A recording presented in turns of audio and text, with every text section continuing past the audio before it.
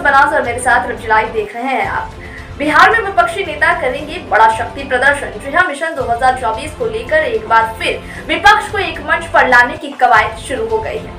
वहीं इसके अगवा नीतीश कुमार बने नज़र आ रहे हैं। आपको बता दें कि सूत्रों के मुताबिक कर्नाटक चुनाव के बाद विपक्षी नेताओं की बैठक पटना में 17 या 18 मई को हो सकती है। अभी तक इसका आधिकारिक अनाउंसमेंट नहीं हुआ है।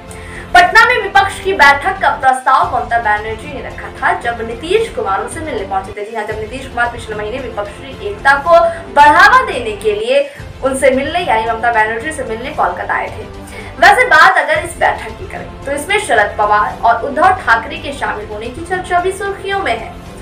इनके अलावा कांग्रेस अध्यक्ष मल्लिकार्जुन खड़गे पश्चिम बंगाल की सीएम, ममता बनर्जी, सपा अध्यक्ष अखिलेश यादव, दिल्ली के सीएम अरविंद केजरीवाल या उनके प्रतिनिधि, वाम नेता सीताराम येचूरी और डी राजा के भी बैठक में शामिल हो सकते हैं। क्योंकि विपक्ष को एकजुट करने के लिए नीतीश कुमार ने पिछले महीने इन नेताओं से मुलाकात की। मुलाकात का सिलसिला अभी भी जारी है। सूत्रों के मुताबिक नीतीश कुमार के जल्द ही उड़ीसा के सीएम नवीन पटनायक और झारखंड के सीएम हेमंत सोरेन से भी मिलने की संभावना है। जी हाँ मैंने कहा कि जैसा कि कहा मैंने कि अभी तक मुलाकात का सिलसिला जारी है तो मुलाकात, आगे भी मुलाकात की संभावना है। ये नेता भी बैठक में शामिल हो सकते हैं।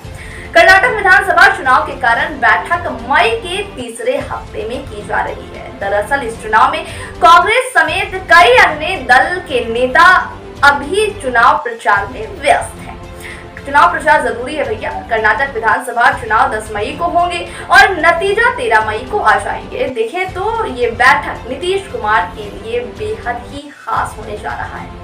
इसकी वजह से ये है कि इस बैठक में न सिर्फ़ विपक्षी एकजुटता पर औपचारिक मुहर लग सकती है, बल्कि नीतीश कुमार विपक्ष के संयोजक या फिर प्रधानमंत्री उम्मीदवार भी घोषित हो सकते हैं। हालाँकि नीतीश कुमार के लिए विपक्षी दलों को साधना किसी बड़े चुनौती से कम नहीं है, क्योंकि विपक्ष में सीट बंटवारे को लेकर विवाद हो सकता है।